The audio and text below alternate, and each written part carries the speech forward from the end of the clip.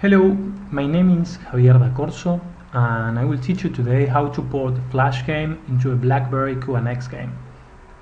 For these examples I will show you a game called Tesoro Submarino that is a game made in Flash and Box 2D.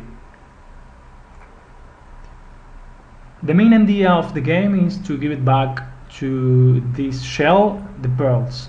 So using the physics you have to try to put it back the pearl into the mouth. It's not so hard but we'll try to do it over there. So let's see how we can do this. Let's start. Okay here we are again and now we are going to talk about sizes. If you have a web game it means that you have it on a website. Now you need to change for make it work on BlackBerry 10 and in Playbook. So the change is really easy. First of all, you need to get it where is the weight of your game. Because I have been working with Flash, we will see like this. I'm going to go to Flash, I'm going to make right button and on document properties I will get it. So I'm using 900. So because I'm using my project SWC it's really easy what I need to do. So I will go to flash builder. And the thing is to add these two lines. What does it mean? I'm going to create a rectangle with the max size of the white and the max size of the height. And this divide size is going to be divided by 900 that is the width of my project and that is going to be the ratio. How am I going to use this?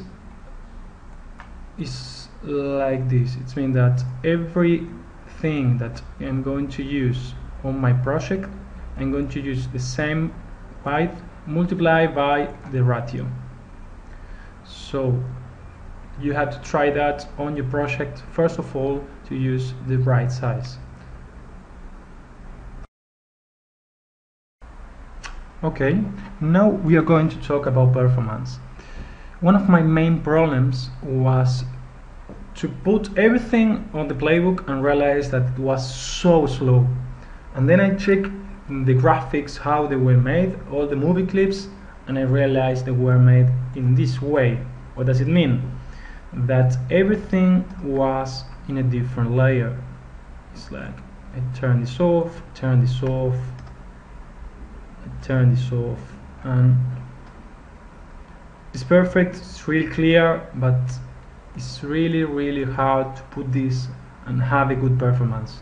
So what should I do? Let's start all over? No that's not the answer. So you just need to grab this and export a, sequence of layers a sequence of PN PNGs so it's like this is export export movie and you have to select PNG sequence.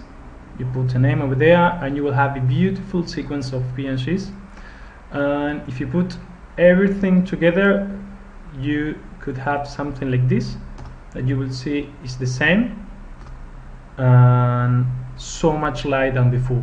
So try this. It's going to help you a lot.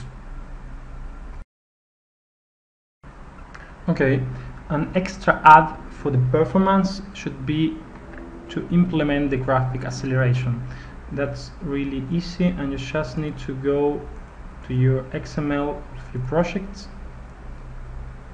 make it open and over here in the render mode use GPU. It means that it's graphic process unit and it's going to be much faster than before. You have to try that. Okay. The tips are over right now and that's it. You can imagine it's too little but it what it took me to create this game and it's working now perfectly because you could touch in every part of the screen. It's working perfectly on a blackberry 10 and in a playbook and it was as easy as I showed you before. You just need to try and you realize how easy it is to create a game on blackberry 10 or a playbook so keep in touch. Bye bye.